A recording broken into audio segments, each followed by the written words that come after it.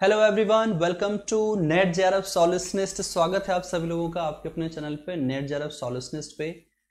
सो so, मैं अभिषेक कुमार झा आज आपकी फिर से क्लास है उस सीरीज़ पे जो कि आपके आने वाले exam N T UGC NET assistant professor चाहे वो उत्तर प्रदेश का हो या वो आरपीएससी यानी कि राजस्थान का हो।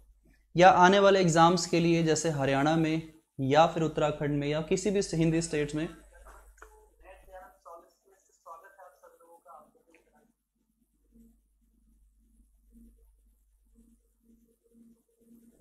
जहाँ पर आप देखते हैं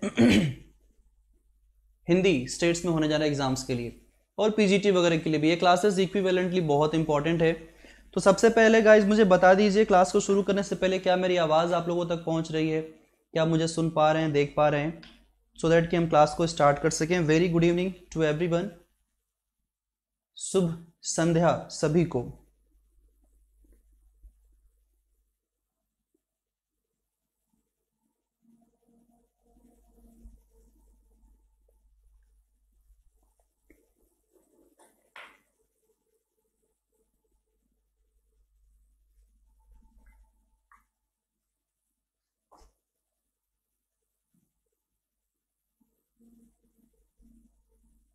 ऑल क्लियर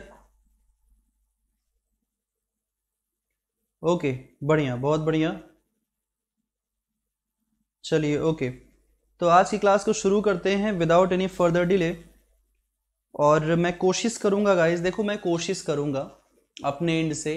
डेली अगर लाइव क्लास नहीं हो पाया तो कम से कम मैं वीक में आपको चार से पाँच क्लासेस दूँगा यहाँ इस चैनल पे। अगर डेली नहीं हो पाया तो ठीक है? क्योंकि एग्ज़ाम नियरेस्ट है और एन अकेडमी पे जो प्लस कोर्सेज है, वहाँ समय थोड़ा ज़्यादा देना है, क्योंकि लर्नर्स वहाँ पर हैं जो डेडिकेटेड हैं एग्ज़ाम के लिए, जो पेड करके पढ़ाई कर रहे हैं। तो मैं कोशिश करूँगा कि यहाँ पर मैं डेली ना सही, लेकिन कम से कम वीक में आपको पाँच, चार, पाँच छः क्लासेस देता रहूँ, ठीक है? चलिए शुरू करते हैं आज के सेशन को, और ये होगा आज का आपका पार्ट फोर यानी कि थ्री पार्ट हो चुके हैं। मैंने इसका प्लेलिस्ट बना दिया है वीडियो के प्लेलिस्ट वाले सेक्शन में आप जाकर के वहाँ पे सारे क्लासेस देख सकते हैं। इसके अलावा मैंने बहुत सारे क्लासेस पहले भी लिए हुए हैं। सारे जोग्राफी के क्वेश्चन हैं। प्रैक्टिस करिए उनको। जो मैंने 500 मोस्ट इंपॉर्टेंट एमसीक्यू की सीरीज़ चलाई थी, वो सीरीज़ में कुछ क्वेश्चंस 100 अभी रह गए हैं। उनको मैं प्रैक्टिस करवाऊँगा। फिर से एग्ज़ाम के पहले हम प्रैक्टिस करेंगे। ठीक है? तो आप उन्हें भी जाकर के देख सकते हैं और शेयर कर सकते हैं अपने फ्रेंड्स को। सो लेट्स स्टार्ट आज का सेशन स्टार्ट कर सकते हैं। आप मुझे फॉलो कर सकते हो अन अकेडमी पे भी। यहाँ पर मेरी क्लासेस होती हैं। फ्री वाली क्लासेस स्पेशल क्लासेस जिसमें आपको कोई चार्जेस नहीं देने हैं। एब्सोल्युटली फ्री है, जैसे कि यहाँ पर यूट्यूब पर होता है। इसके अलावा हमारा टेलीग्राम चैनल ज्वाइन करिए। नेट जेरब सॉल्यूशनिस्ट क्लासेस के लिंक्स वगैरह पीडीएफ्स वगैरह यहाँ पर मैं शेयर कर देता हूँ। इसके अलावा अन अकेडमी पे प्लस कोर्सेज जो हमारे चल रहे हैं, आप वो देख सकते हो। कंप्लीट जोग्राफी आपको यहाँ पर मिलेगा। कंप्लीट सिलेबस मिलेगी ज्योग्राफी की, जो कि आपके 2021 एग्ज़ाम के लिए बहुत ही इंपॉर्टेंट है। ठीक है? कंप्लीट पीडीएफ मिलता है यहाँ पर स्टडी करने के लिए आपको, जिससे आप प्रिंट आउट करा करके एक अच्छी स्टडी कर सकते हैं। Okay for this you need to subscribe Unacademy plus आप अन अकेडमी प्लस का सब्सक्रिप्शन लीजिए। यहाँ पर आपको कंप्लीट सिलेबस मिलेगा ए टू जेड सब कुछ including practical thought Indian geography और सब कुछ। प्लान्स यहाँ पर है वन मंथ से लेकर के ट्वेंटी फोर मंथ तक के प्लान्स हैं। आप इनमें से कोई भी ले सकते हैं। ग्रेजुएशन में है मास्टर्स में है तो ट्वेल्व मंथ का और ट्वेंटी फोर मंथ के प्लान सबसे अच्छे हैं। Don't forget to use referral code Abhishek J इससे आपको टेन परसेंट का डिस्काउंट मिलेगा इस वैल्यू में। सो गाइज़ प्रीवियसली हम लोगों ने थर्टी क्वेश्चन कवर कर लिए हैं। इस सीरीज़ में, ठीक है? इस सीरीज़ में थर्टी क्वेश्चंस कवर कर लिए हैं। इसकी एक क्लास और होगी जियो की। जिसमें हम आज फोर्थ क्लास है तो इसकी एक क्लास और होगी, यानी कि फिफ्थ क्लास। फिफ्थ क्लास के बाद हम छठवीं क्लास जो स्टार्ट करेंगे, वो किसी और सब्जेक्ट पे होगा। मैं चाह रहा हूँ कि पाँच पाँच क्लासेस हो जाएँ प्रैक्टिस करने के लिए सब्जेक्ट वाइज आप में से बहुत सारे स्टूडेंट ने जो है रिक्वेस्ट किया था सब्जेक्ट वाइज क्लास कराने के लिए तो ये उसी तरीके से डेडिकेटेड है। तो एक सब्जेक्ट्स के थ्रू हम आगे चलते रहेंगे, ठीक है? चलो, आज का सबसे पहला क्वेश्चन रहेगा स्क्रीन पे। क्वेश्चन नंबर वन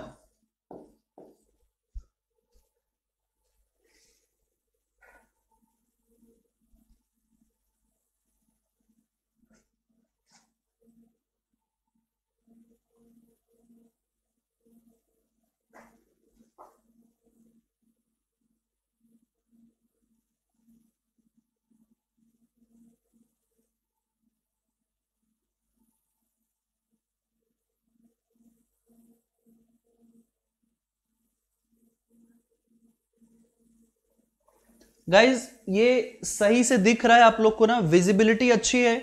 इसमें कोई प्रॉब्लम तो नहीं है विजिबिलिटी में, मुझे बता देना।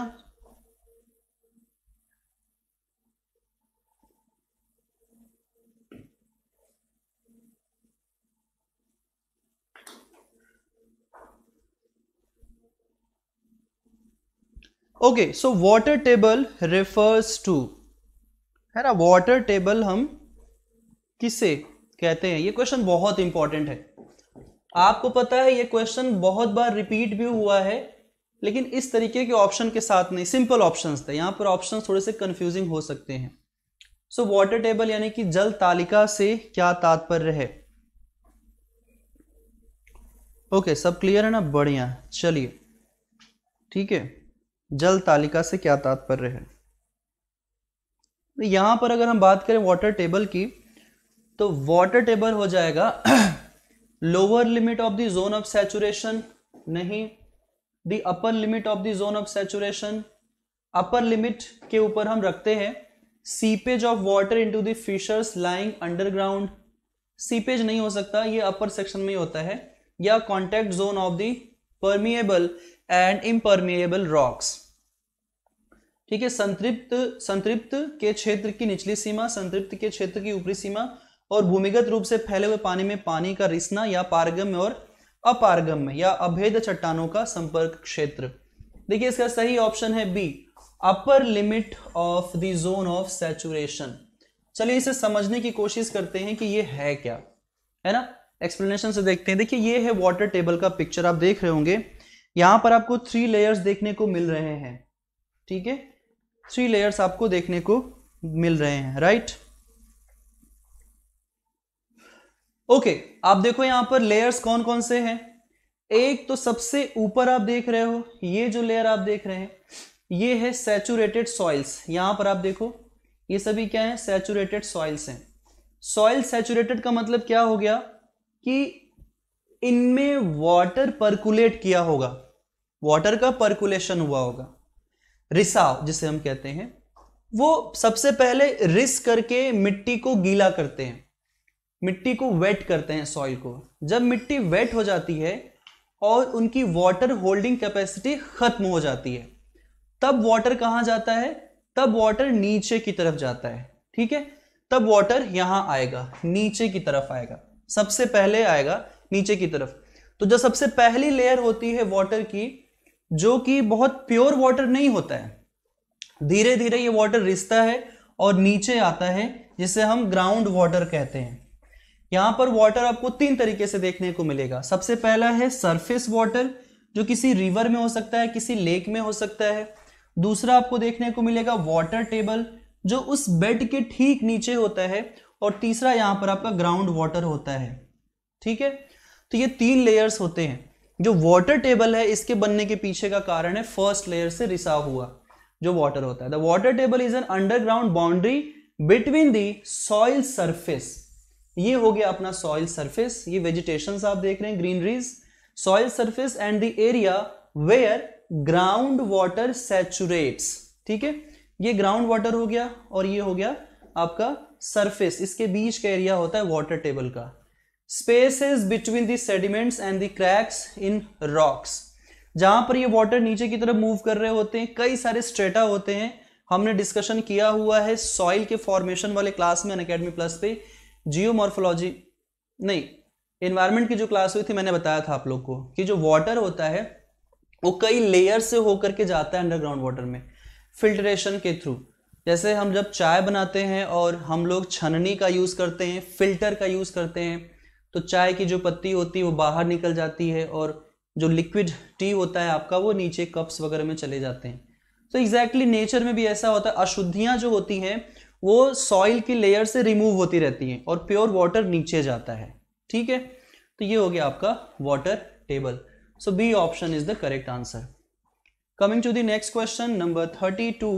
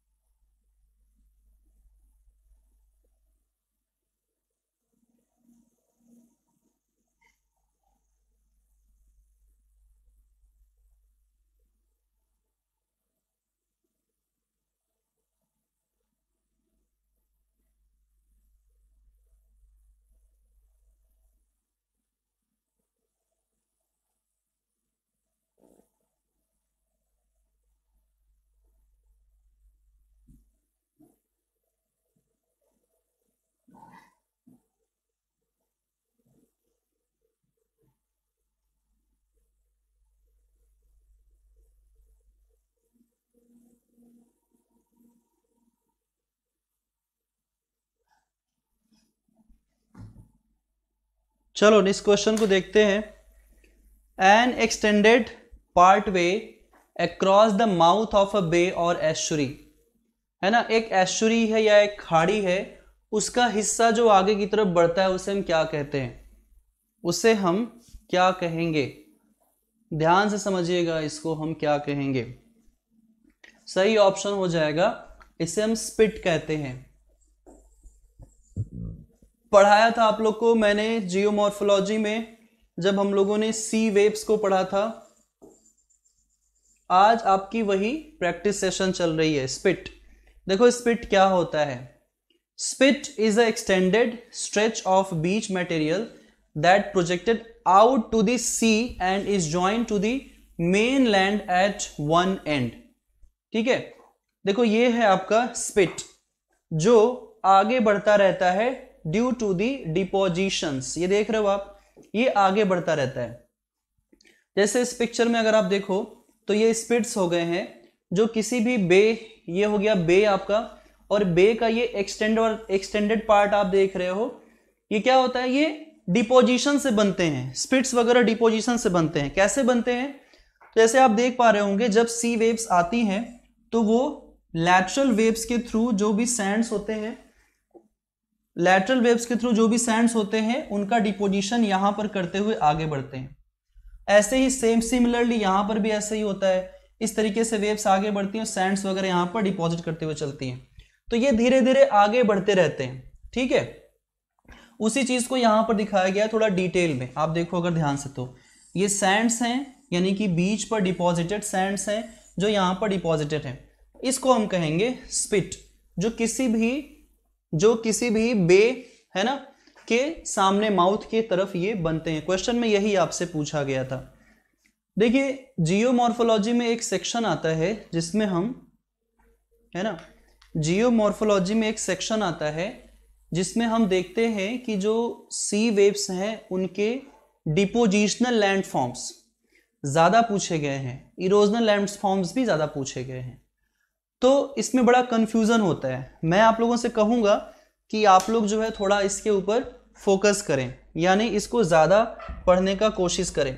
इससे क्या होगा कि आप लोगों को बेहतर कॉन्सेप्ट्स और क्लियर होते चलेंगे।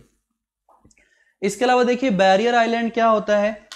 बैरियर आइलैंड की अगर हम बात करें तो आप यहाँ पर देख पा रहे होंगे। बैरियर आइलैंड बैरियर आइलैंड जो आइलैंड बैरियर्स के कारण बनते हैं। ये कैसे आइलैंड्स हैं? जैसे कभी यहाँ पे कोरल्स रहे होंगे, ठीक है? या कभी यहाँ पर जो सैंड्स डिपॉजिट हुए होंगे रिवर्स के या ओशंस के तो ये सभी सैंड्स के ऊपर आइलैंड अगर बन जाता है तो उसे हम बैरियर आइलैंड कहते हैं। सैंड आर्क आपको पता है? ये सैंड आर्क हो सकते हैं। यानी कि सैंड ड्यून्स जो सैंड स्टोन्स होते हैं, उनके इरोजन से, जैसे आप देख पा रहे होंगे, ये आर्क बना हुआ है आर्क जैसा स्ट्रक्चर ये आर्क जैसा स्ट्रक्चर इनके इरोजन की वजह से। ये इरोजन दो तरीके से हो सकते हैं। अगर कोस्टल एरिया में होंगे तो ये सी वेव्स के कारण बनेंगे इरोजन से। अगर ये किसी एरिड जोन में होंगे तो जो विंड्स होंगी, उनके इरोजन की वजह से बनते हैं। ठीक है? ओके नेक्स्ट क्वेश्चन चलते हैं। Question number thirty three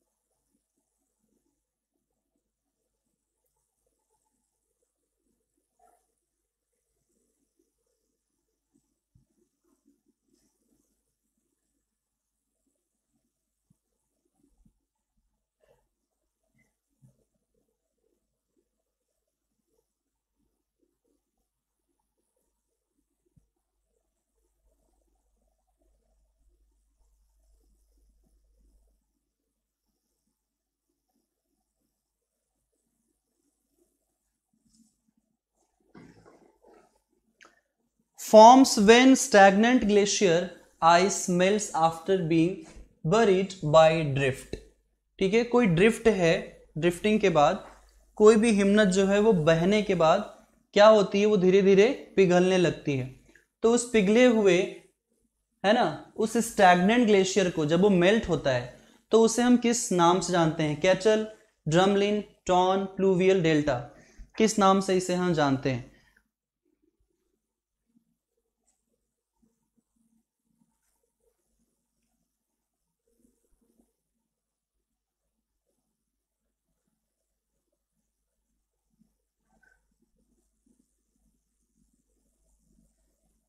देखो, जब भी ग्लेशियल डेल्टा मेल्ट होता है तो उसे हम क्या कहते हैं? केचल कहते हैं। ठीक है? ये देख रहे हो अब, ये ग्लेशियर था और ये धीरे धीरे मेल्ट होने लगा। इसके मेल्ट होने के कारण यहाँ पर एक लेक जैसा स्ट्रक्चर आप देखोगे। जब वाटर मेल्ट होगा तो लेक जैसा स्ट्रक्चर बन जाएगा, क्योंकि ज़ाहिर सी बात है, ग्लेशियर था और कभी मेल्ट होने के कारण ये ऐसा बन जाएगा। क्यों बन जाएगा? क्योंकि डेफिनेटली जब टेम्परेचर बढ़ेगा और ये स्टैगनेंट है और वापस से यहाँ पर कभी कोई उम्मीद नहीं है ग्लेशियर बनेगा तो ये लगातार मेल्ट होने रहता है मेल्ट होने लगता है। तो इसे हम क्या कहते हैं? ठीक है? इसे हम कहते हैं केटल। ये कहेंगे, ड्रम्बलिन देख लीजिए। ड्रम्बलिन क्या है? ये सेडिमेंट्स होते हैं। ये क्या होते हैं? सेडिमेंट्स होते हैं। सेडिमेंट्स किसके सेडिमेंट होते हैं? ग्लेशियर्स के। जब ग्लेशियर कभी मूव करता है तो अपने साथ बहुत सारा सेडिमेंट छोड़ करके जाता है। और इस कारण से ये सेडिमेंट कुछ इस तरीके से देखने को मिलते हैं आपको, ठीक है? तो इसे हम ड्रमलिन कहते हैं, ठीक है? इसके बाद देखें तो टॉन हो गया ये। टॉन क्या है? ये भी एक ग्लेशियर लेक होता है, जो कि एक सर्क की तरह होता है है ना? सर्क की तरह होता है और ग्लेशियर्स के मेल्ट होने के कारण ये भी बनता है। तो यहाँ पर टॉन भी एक लेक ही है। ठीक है? टॉन भी एक लेक है, जबकि कैचल भी एक लेक है और ड्रमलिन डिपोजिशनल लैंडफॉर्म में प्लूवियल डेल्टा यहाँ पर नहीं होता है। ठीक है?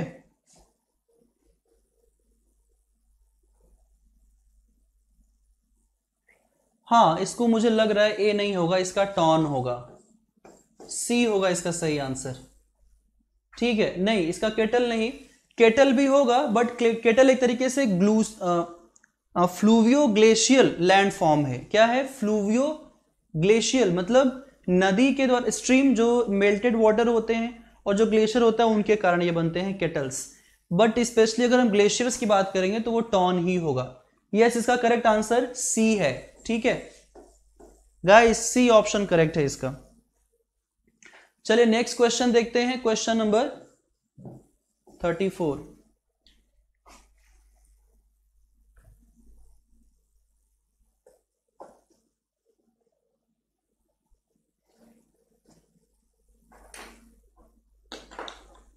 हाँ ठीक है. Thank you so much okay okay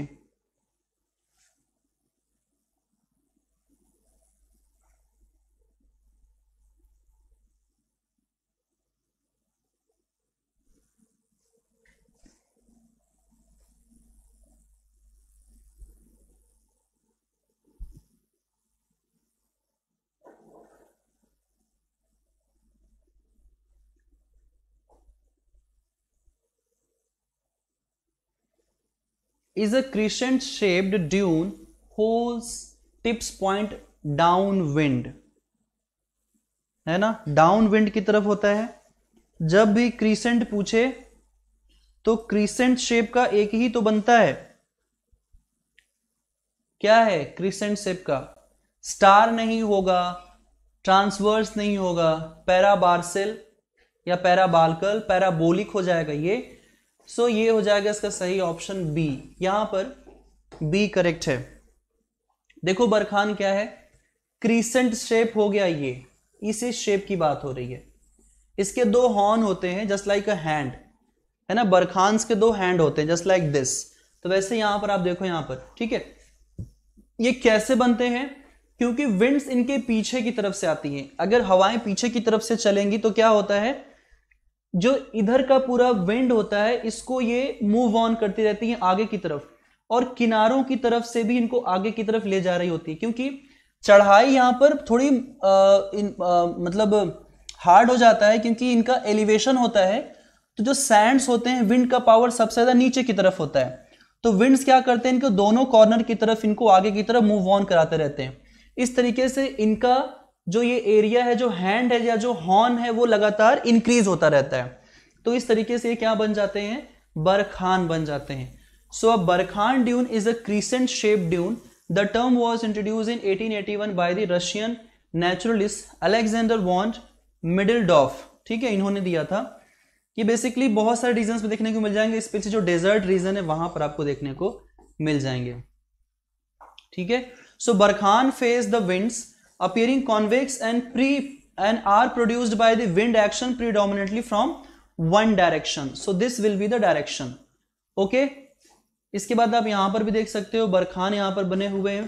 transverse dunes ये हैं जो आप देख रहे हो, जो पूछा गया था ऑप्शन में। ठीक है?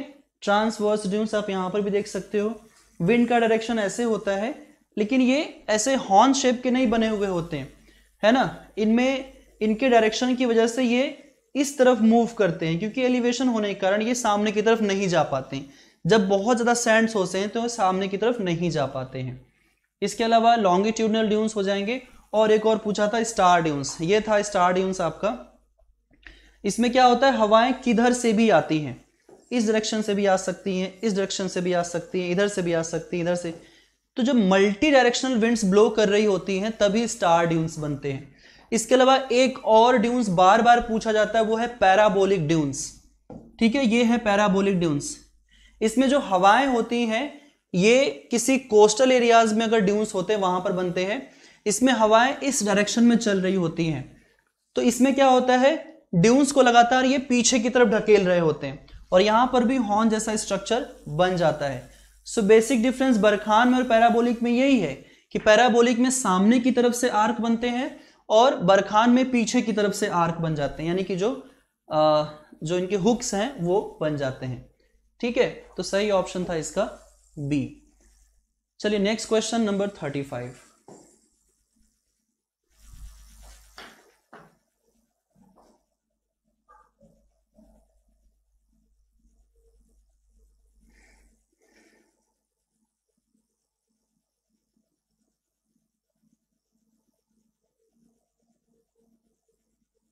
देखिए, गौतम आप लोगों से कुछ कह रहे हैं।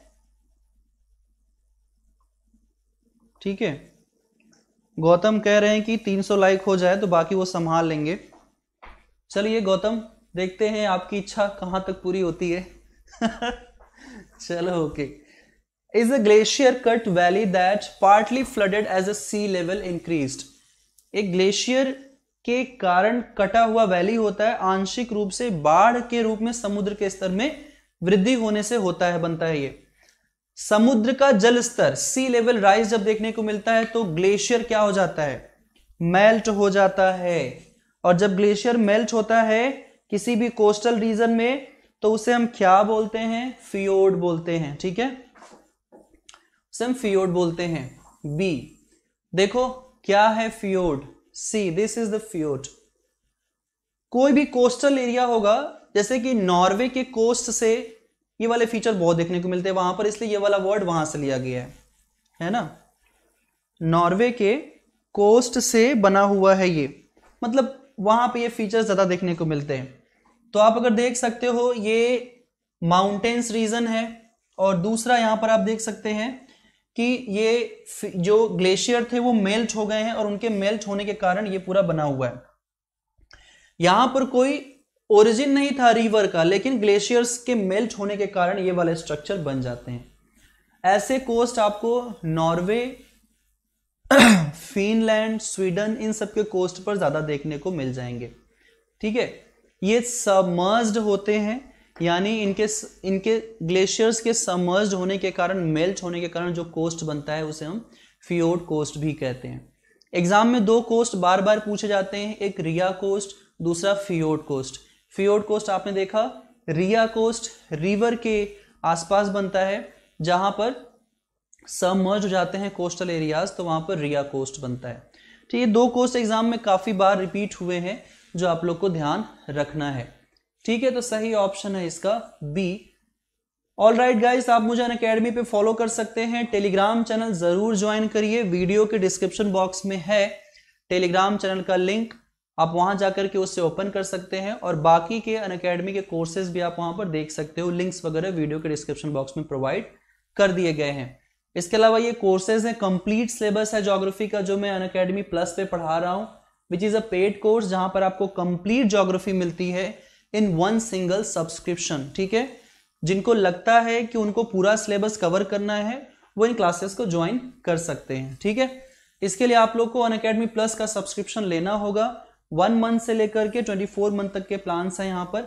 आप referral code Abhishek ji use करिए, यहाँ पर आपको टेन परसेंट का डिस्काउंट मिल जाता है। ठीक है? सो चलिए क्वेश्चन नंबर थर्टी सिक्स है स्क्रीन पे आप सभी लोगों के सामने।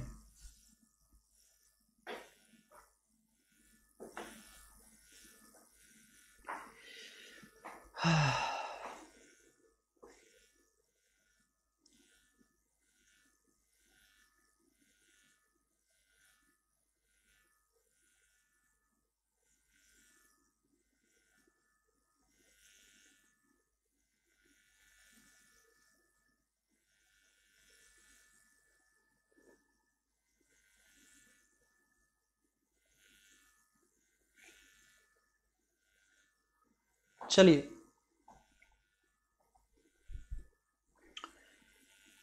Is an intermediate stream channel in the dry land areas of the western USA western USA में ये क्या है? ड्राई लैंड एरियाज़ हैं। तो इनको हम किस नाम से बुलाएँगे?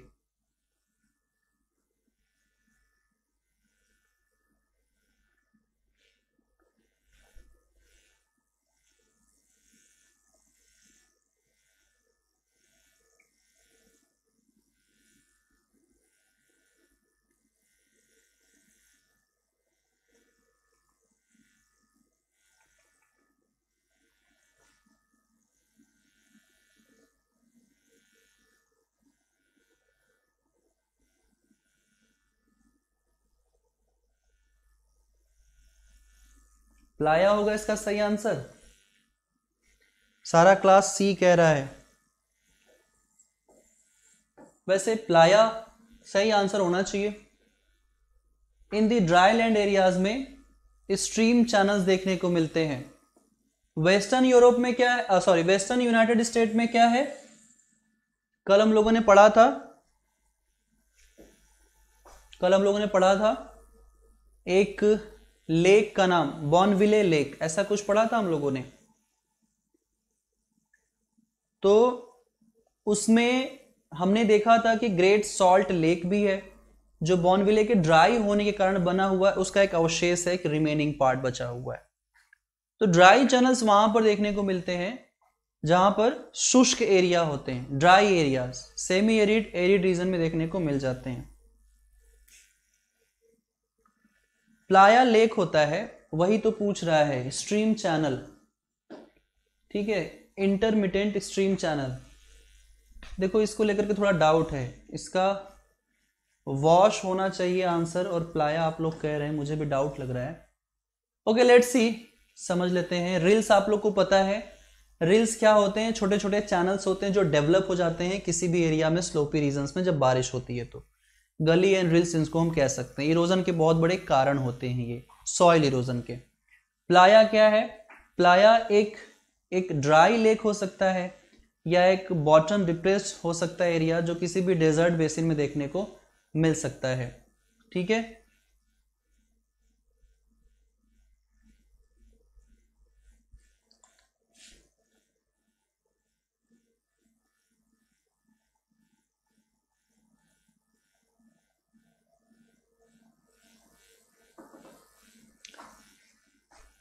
मुझे डाउट लग रहा है इस पर ये होना चाहिए। ठीक है।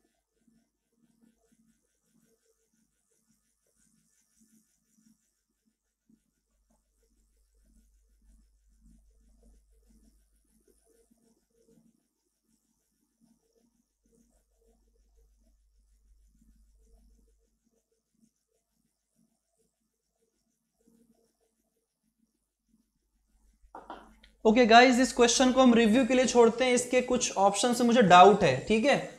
इसको अगली कक्षा में बता दूँगा। नेक्स्ट क्लास में इसको एक्सप्लेन कर दूँगा। मुझे डाउट हो रहा है थोड़ा सा। रिल्स नहीं होगा या रिवुलेट पे नहीं होगा प्लाया और वॉश में थोड़ा सा डाउट है, ठीक है? तो इस डाउट को छोड़ते हैं और आगे बढ़ते हैं। समय के साथ चलते हैं। अगली क्लास में मैं उसका एक्सप्लेनेशन लेकर के आऊँगा, आप लोग को बता दूँगा, ठीक है?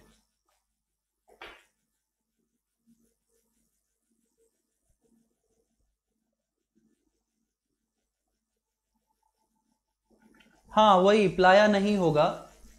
जहाँ तक मुझे लग रहा है प्लाया नहीं होगा। वॉश का मतलब हो सकता है कि कोई एक चैनल जो बहुत ही नैरो से होकर के गुजर रहा हो और वो कनेक्ट करता हो किसी स्ट्रीम्स को। वो चैनल स्ट्रीम्स वही पूछ रहा है। ठीक है? और रील्स नहीं होंगे डेफिनेटली रील्स नहीं होंगे।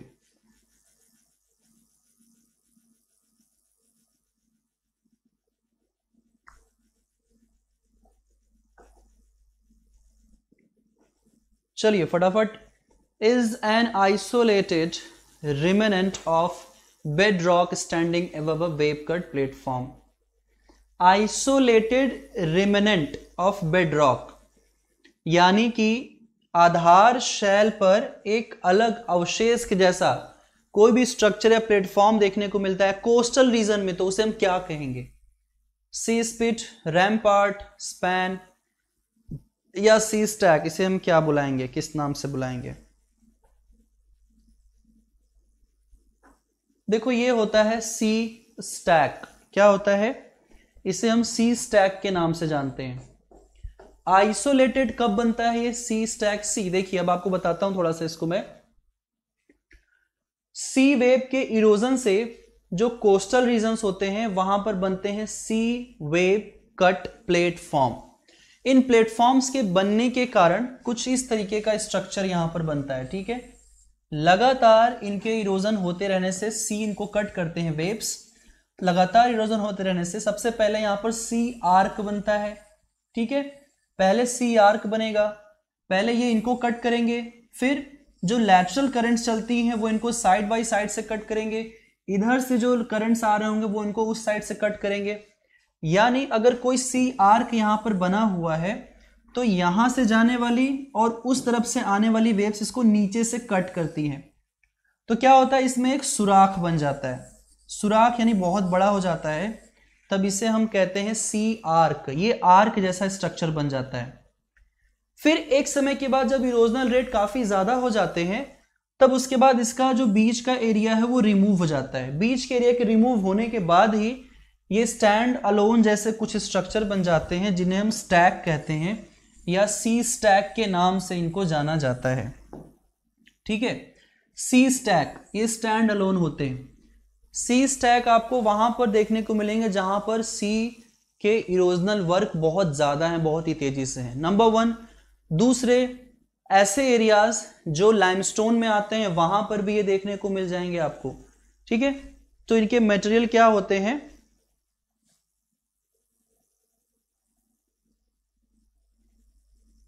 इनके मटेरियल्स क्या होते हैं? वो रिमूव्ड हो जाते हैं सरफेस से। So what is sea stack sea stack is a geological landform consisting of steep and of an vertical column of the rock in the near sea और coast form by the wave erosion ठीक है? तो कभी कभी इनमें winds का भी होता है रोल कभी कभी इनका जो सी वेव्स होते हैं, उनका भी रोल होता है। सी स्पिट देख लीजिए। स्पिट जो हम लोगों ने पढ़ा था, ये हो गए स्पिट ठीक है? मैंने आप लोग को बताया ही था, है ना? सी स्पीड भी ये आगे जब टर्न हो जाएगा तो ये हुक बन जाता है। अभी पढ़ेंगे इसको, हम लोग आएगा इसका ऑप्शन डी है इसका करेक्ट आंसर ठीक है? चलिए नेक्स्ट क्वेश्चन देखते हैं। Question number thirty eight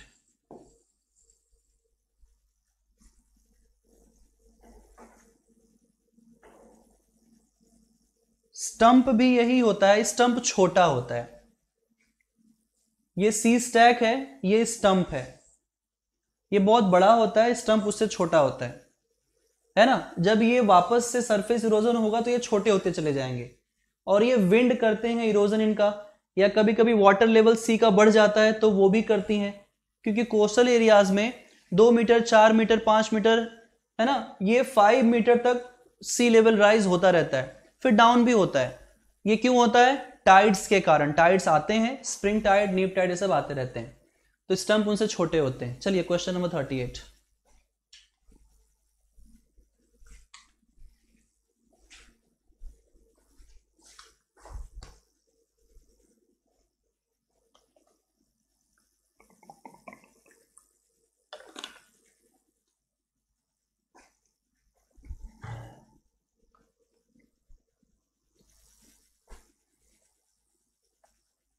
all right, so formed by abrasion of rocks by wind blown sand. हवाएँ जो उड़ती हैं मतलब हवाएँ उड़ती ही हैं, और क्या, बैठ के थोड़ी चलेंगी।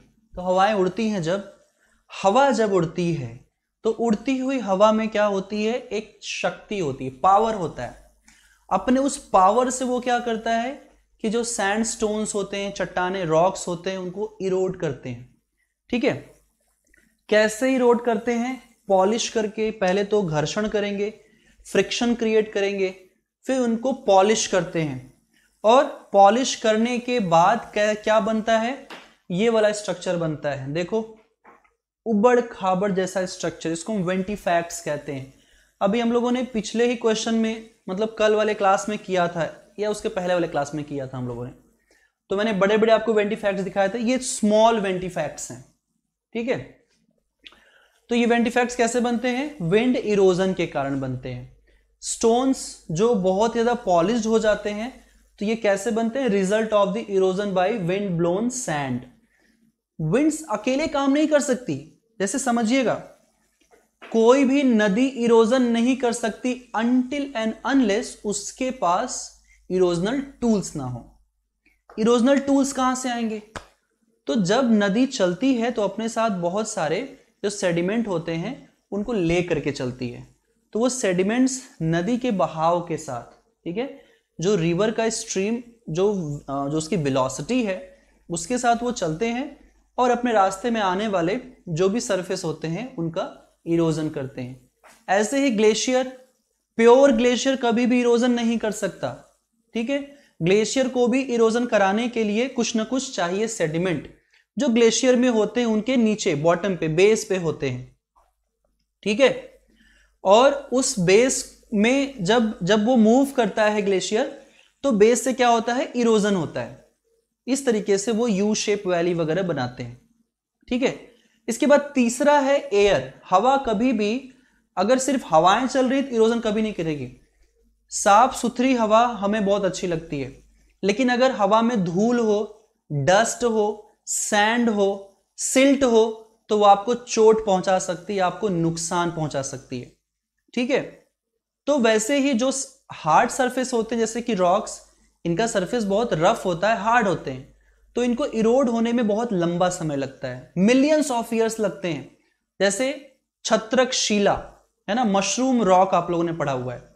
मशरूम रॉक जब बनता है तो मशरूम रॉक के बनने का कारण भी यही है कि जो हवाएँ होती हैं, वो इसके बॉटम पे ज़्यादातर चोट पहुंचाती हैं। और इस तरीके से इनका इरोजन तो हो रहा होता है, लेकिन हवाएँ जो हैं, सबसे ज़्यादा सिल्ट और सैंड अपने नियरेस्ट बॉटम पर लेकर के चलती हैं। ज़्यादातर ये आपको दो से पाँच फीट या दस फीट तक की हाइट पर देखने को मिलेंगे। कोर्स सैंड्स यहाँ पर बॉटम पे होते हैं, यानी कि मोटे सैंड्स और उनसे छोटे साइज़ के सैंड्स ऊपर होते हैं। क्योंकि हवा का ये पावर जो है वो ऊपर जैसे से जाता है, वो कम होने लगता है। और इस तरीके से इनका इरोजन नहीं हो पाता है और बॉटम का इरोजन होता है। ठीक उसी तरीके से वेंटीफैक्ट्स भी होते हैं। इनका इरोजन होता है, जब तक उनके पास सैंड्स नहीं आएँगे, तब तक ये इरोजन नहीं कर सकते। तो सी ऑप्शन हो जाएगा इसका सही। 38 का सी इसके अलावा डेजर्ट पावमेंट क्या होता है, इसको देख लीजिए।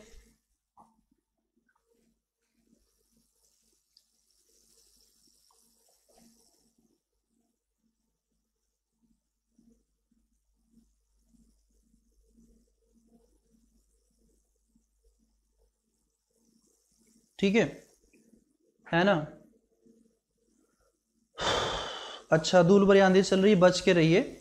अब देखो यहाँ पर, ये क्या बता रहा है? डेजर्ट पावमेंट ये क्या है? ये एंगुलर इंटरलॉकिंग फ्रेगमेंट्स पेबल्स होते हैं ग्रेबल्स होते हैं बोल्डर्स होते हैं। कहाँ पर? एरिड एरियाज़ में।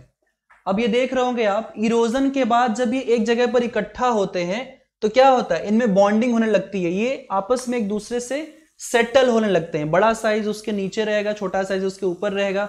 या अगर बड़े साइज़ के सेडिमेंट्स हैं तो उनके बीच में छोटे छोटे सेडिमेंट्स क्या होते हैं? फिट होने लगते हैं। ये कहाँ से आते हैं? ये आते हैं इन माउंटेन से, जो स्लोप को फॉलो करते हुए नीचे की तरफ़ चले आते हैं। जब ये नीचे की तरफ़ चले आते हैं, या देख रहे हो आप, या ये ये एलिवेटेड रीजन है तो ये आपस में सेटल होने लगते हैं। ठीक है? तो इनको हम कहते हैं डेजर्ट पावमेंट ठीक है? डेजर्ट पावमेंट आप चाहो तो इसका स्क्रीनशॉट ले लो, चाहो तो इसका भी स्क्रीनशॉट ले लो। ठीक है? ओके चलिए question number thirty nine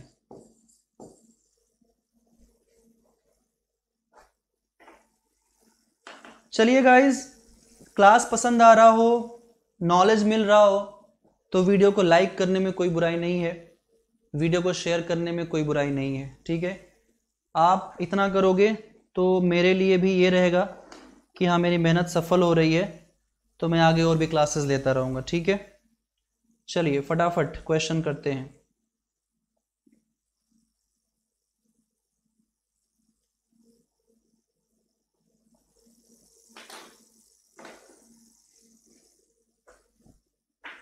question number thirty nine अब migrates inland as a wave cut platform is extended आप लोगों ने ये वाले क्वेश्चंस नहीं किए होंगे। तो ये क्वेश्चंस आप कर रहे हो तो इससे आपको एक आइडिया मिल रहा है। ठीक है? और ये सभी क्वेश्चंस बहुत इंपॉर्टेंट हैं, क्योंकि इसमें बारीकियाँ हैं। हर एक वो बारीकी मैं आपको बता रहा हूँ जो आपको जाननी चाहिए एग्ज़ाम से पहले। ठीक है?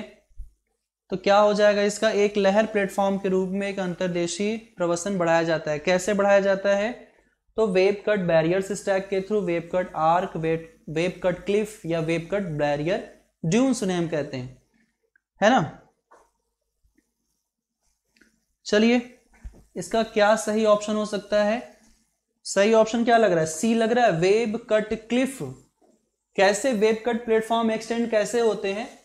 वेब कट प्लेटफॉर्म के एक्सटेंड होने का कारण है हाइड्रोलिक एक्शन का लगातार होते रहना। Sea wave. देखो, ये है वेब कट क्लिफ। ध्यान से देखिएगा। ठीक है? यहाँ पर ये ओशन हो गया। ये वेव्स इस डायरेक्शन में मूव करेंगी लगातार। वंस अपॉन अ टाइम ये जो एरिया आप देख रहे हैं, ठीक है? ये जो माउंटेन्स या आप एक अपलिफ्टेड एरिया देख रहे हो ये कभी यहाँ पर रहा होगा इस तरीके से, ठीक है? यहाँ तक स्ट्रेच रहा होगा। लेकिन ओवर द टाइम पीरियड लगातार होते इरोजन के कारण ये सरफेस क्या हो गया? रिमूव हो गया।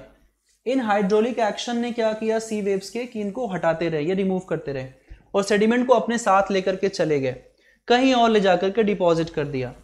तो ये ये जो एरिया था रिमूव हो गया।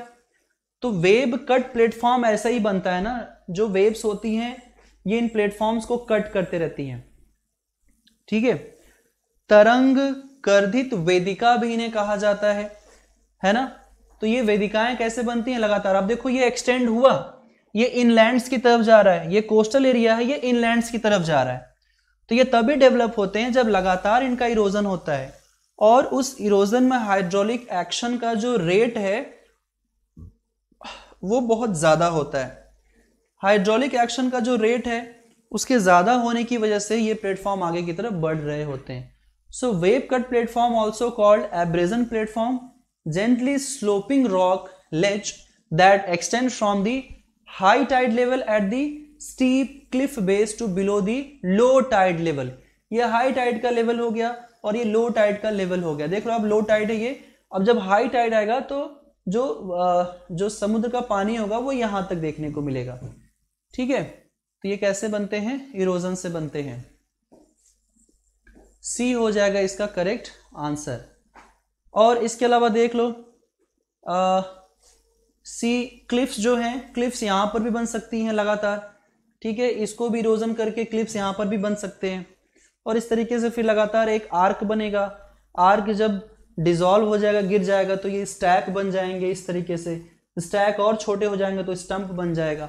ये है पूरा ओशनोग्राफी या हम कह सकते हैं कि C wave cut platform question number forty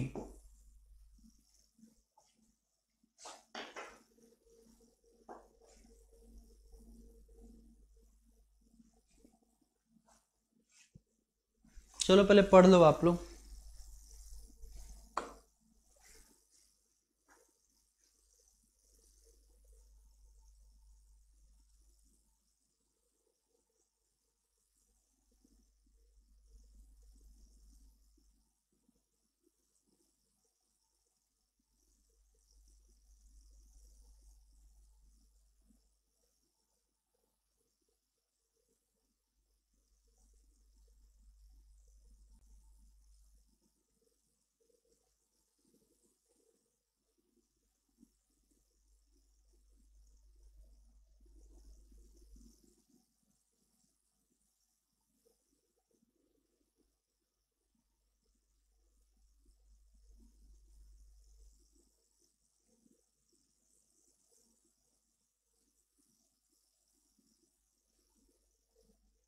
चलिए गौतम, आपका टारगेट पूरा हो गया आज का। इसका मतलब कि लोग गौतम की बात को बहुत सीरियस लेते हैं, है ना? आपकी बात को लोग मानते हैं। चलिए बे माउथ बार इज़ एक बे है, उसके माउथ पे बार बना हुआ है है ना? क्वेश्चन को ऐसे डिकोड करते हैं। जब ना समझ में आए, बे आपको पता है। बे का एक माउथ होगा, खाड़ी है तो उसका एक माउथ होगा, और उस माउथ के सामने एक बार बना होगा। वो डिटर्जेंट वाला बार नहीं, ठीक है? वो बार जो सी वेव्स के डिपोजिशन से बनता है। उसके यानी कि उसके डिपोजिशन यानी कि उसके अवसादों के लगातार एक जगह पर जमाव होने के कारण, ठीक है? सेडिमेंटेशन कह सकते हैं उसे हम। तो ये क्या हो जाएगा? A sand bar, a sand bar extending across the former inlet to a bay or देखो यहाँ पर क्या हो जाएगा सैंड बार मान लो ये एस्चुरी रहा होगा, या फिर ये कोई बे हो गया जो यहाँ तक एक्सटेंडेड है, और इसके सामने की तरफ़, ठीक है? इसके सामने की तरफ़ ये बार बने हुए हैं। ये बार जो होते हैं, ये नेचुरल ऐसे अपलिफ्टेड एरिया होते हैं। देखो ये आदमी कितना छोटा सा दिख रहा है इसमें। बहुत ही टाइनी सा, बहुत ही छोटा सा दिख रहा है। ठीक है? तो ये जो आप देख रहे हो, ये बेसिकली क्या है? सैंड बार है। Sand bar definitely deposition of the sea waves के कारण बनते हैं। So sand bar also sometime called offshore bar इसे हम ऑफशोर बार के नाम से भी जानते हैं। कैसे जानते हैं? ये सबमर्ज और पार्टली एक्सपोज्ड पार्टली मतलब ये पूरी तरीके से नहीं है। आंशिक रूप से एक्सपोज्ड है ये। ठीक है? ऑफ़ सैंड और कोर्स सेडिमेंट, कोर्स मतलब जो मोटे सेडिमेंट्स होते हैं, जैसे सिल्ट हो गए, सैंड, बड़े वाले पेबल्स हो गए, उनके कारण ये देखने को मिलते हैं। देख रहे हो आप, कोर्स सैंड्स हैं यहाँ पर, या चट्टाने वगैरह देखने को मिल रही हैं। So that is built by wave of shore from a beach जो बीच जो यहाँ पर बीच हमें देखने को मिलेगा, वो उसके कारण से जो वेव्स होती हैं ऑफशोर वाली, उनके डिपोजिशन बनते हैं। सो बे माउथ बार्स में एक्सटेंड पार्टली और entirely across the mouth of a bay कभी कभी पूरी तरीके से फैले हुए होते हैं, कभी कभी आंशिक रूप से फैले हुए होते हैं एक बे के पास. Bay head bar occurs at the head of the bay a short distance from the shore shore से, किनारे से बहुत ही शॉर्ट डिस्टेंस वाले होते हैं ये. ठीक है? तो एक तरीके से ये बैरियर बार का भी काम करते हैं. क्या है ये? बैरियर बार है. किसके लिए बैरियर बार है? क्योंकि यहाँ से जो वेव्स उठेंगी, वो यहाँ पर आकर के टकराएँगी और रुक जाएँगी, आगे नहीं बढ़ पाएँगी। तो इनके लिए बैरियर बन जाएँगे। किसके लिए? सी वेव्स के लिए। ठीक है? तो ये हो गया इसका सही ऑप्शन ए ठीक है? तो आज की क्लास यहीं तक। उम्मीद करता हूँ कि आप लोग को समझ में आया होगा। नए क्वेश्चंस आप लोग को मिले होंगे प्रैक्टिस करने के लिए। और कल रात को फिर मुलाकात होगी। कल हम लोग अन अकेडमी के चैनल पे करेंगे यूट्यूब क्लास और उसका लिंक मैं टेलीग्राम ग्रुप पे दूँगा यहाँ पर। नेट जैब सॉल्यूशनिस्ट इंडियन जियोग्राफी का क्वेश्चन करेंगे कल हम लोग। किसका क्वेश्चन करेंगे? इंडियन जियोग्राफी का, भारतीय भूगोल का। जो आपके आने वाले एग्ज़ाम्स के लिए काफ़ी इंपॉर्टेंट होगा, आप मुझे अन अकेडमी पे फॉलो कर सकते हैं। लिंक वीडियो के डिस्क्रिप्शन बॉक्स में मिल जाएगा। जाते जाते क्लास पसंद आई हो तो वीडियो लाइक करना। फ्रेंड्स के साथ शेयर कर सकते हैं जो इस एग्ज़ाम की प्रिपरेशन कर रहे हैं, या जिनको आगे तैयारी करनी है तो उसको भी आप शेयर कर सकते हैं। चैनल पे पहली बार आए हैं आप तो सब्सक्राइब करके जाना बेल आइकन प्रेस करके जाना तो आपको हमारी क्लास की रेगुलर नोटिफिकेशन मिलती रहेंगी। Thank you so much for coming in today's session इसके अलावा आप हमारे अन अकेडमी के कोर्सेज को चेकआउट कर सकते हैं। वीडियो के डिस्क्रिप्शन बॉक्स में सारा इंफॉर्मेशन है, जहाँ पर जाकर के आप लोग चेक कर सकते हैं। कि आपको क्या क्या पढ़ने को मिलेगा। जैसे विजार्ड ऑफ़ जोग्राफी में हम लोग कंप्लीट जोग्राफी कवर कर रहे हैं कोर सब्जेक्ट्स को और भी बाकी बहुत सारी चीज़ों को। जोग्राफिकल टेक्निक में प्रैक्टिकल सेक्शन कवर हो रहा है। मॉडल्स एंड थियरीज में सारे मॉडल्स कॉन्सेप्ट्स वाले कवर हो रहे हैं, ठीक है? इसके अलावा जोग्राफी ऑफ़ इंडिया कंप्लीट यहाँ पर कवर हो रहा है। तो एक कंप्लीट सब्सक्रिप्शन आपको दिला सकता है जोग्राफी का कंप्लीट एक्सेस ठीक है, इसके लिए आप लोग को अन अकेडमी प्लस का कोर्स लेना होगा। कोई भी इंफॉर्मेशन चाहिए so you have my contact details आप व्हाट्सएप कर सकते हैं। अभिषेक जे रेफरल कोड का यूज़ करके आप इन कोर्सेज को एक्सेस कर सकते हैं। धन्यवाद thank you so much take care guys पढ़ाई करिए रिवीजन करिए।